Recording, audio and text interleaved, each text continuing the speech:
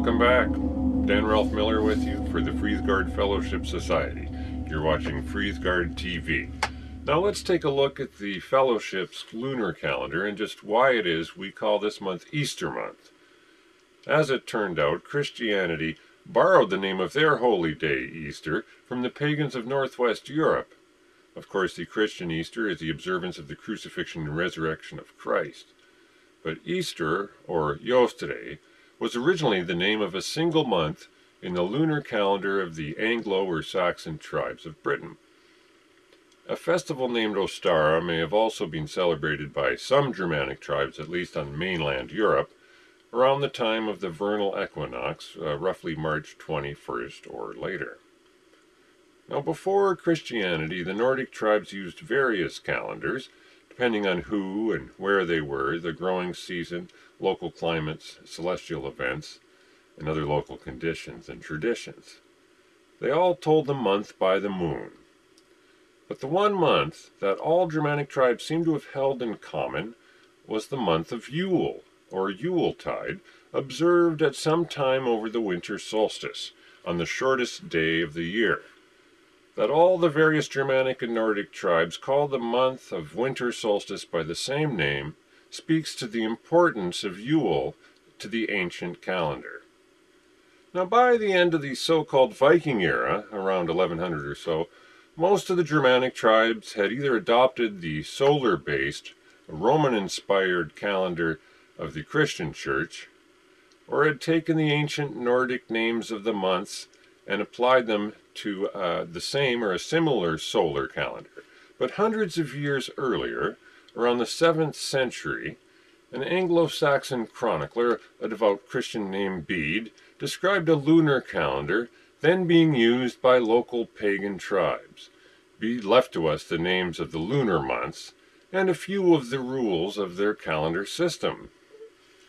Now, in modern English, the word month comes from the Old English monath, which is a turning of the moon or a full lunar cycle, from full moon to full moon or new moon to new moon, a period of almost 30 days. A lunar year is usually defined as 12 lunar months, about 356 days or so. Of course, the true solar year, on the other hand, from one autumnal equinox to the next, for example, is 365.25 days. Now, the difference between a solar year and a lunar year is, is therefore about nine days. Uh, the lunar year is a little shorter and the solar year is a little longer. So, after about usually three years or so, this difference adds up to nearly a month, requiring uh, the addition of a kind of leap month to the calendar. Course, it's not really an addition, but we're just observing 12, uh, 13 full moons between, say, one winter solstice and the next.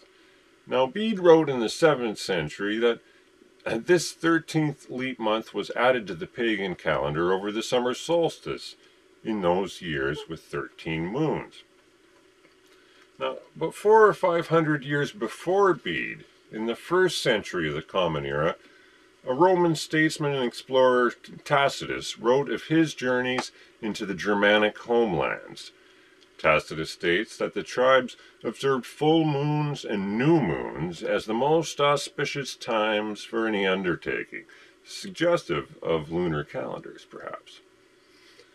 Hints of the ancient lunar calendar are also given in Iceland's poetic and prose Eddas, written sometime between the 10th and 13th centuries of the Common Era.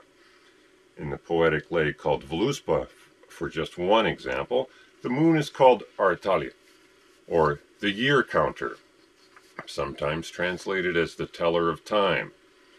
So the use of lunar calendars in ancient Europe is truly ancient. The Nebra disk, discovered in 1999 in Germany, is an extraordinary artifact dated from the 15th or 16th century BC, the disk is mankind's oldest known depiction of the heavens.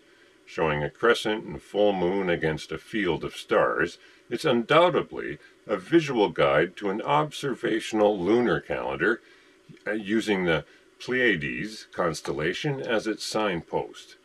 this constellation is also called the Seven Sisters among mariners and was known as Frigga's Hens by some of our ancestors. The crescent moon appears close to the Pleiades, as pictured on the disk, once every two or three years, indicating that a 13th leap month is to be observed on those years.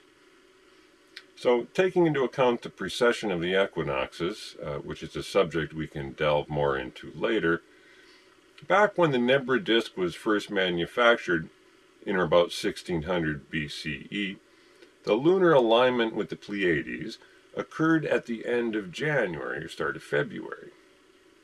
By the second century of the Common Era, the lunar alignment with Frigga's hens occurred at the end of February, and by the time Bede was writing, in the 6th or 7th century, this alignment was occurring in early March. Of course, uh, these days, in fact, this year, it's occurring just in a couple of days uh, on Sunday, in fact. Now, the full moon on the disk is the moon's next close brush with the Pleiades, always occurring a full nine moons or nine months later. Uh, these days, that would be the Yule full moon. So, the Nebra disk, as it happens, is mankind's oldest lunar calendar guide depicting a calendar of the exact same kind that was described by Bede 2,000 years later. And put into practice, as I have done since 2002, the two calendars are indistinguishable. I'll explain more in the future as to the implications of the Nebra disk for a modern reconstruction of a traditional Northwest European lunar calendar. It suggests an aeon spanning calendar system on par with any of the celestial calendars of the ancient world. So observe the moon's brush with the Pleiades this Sunday night. Look for Frigga's hens high in the south southwest in the sky just after sundown. A small knot of six or seven stars, depending on conditions. And here's a pointer three stars of Orion's belt, uh, who some call Thor, point almost in a straight line directly at the Pleiades, which is a tiny little cluster. Uh, we also call them Frigga's hands. Now, the alignment of the crescent moon with the Pleiades constellation, as pictured on the Nebra disk, will occur Sunday, March 30th, 2009, about 4 a.m. Pacific Daylight Time. Uh, this means, for example, uh, we have forecast clear skies that night, so I'll be out Sunday night most places in North America, the best viewing will undoubtedly be the evening of Sunday, March 29th.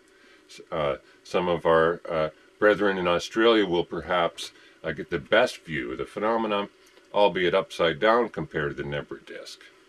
Um, certainly, I think uh, folks in Western Europe should probably join us in North America checking it out on Sunday, March 29th. So more on traditional Nordic astronomy, the study of hours, and the Fellowship's lunar calendar in our next episode. For the Fridhgard Fellowship Society and Fridhgard TV, all the best to you and yours. We'll see you then.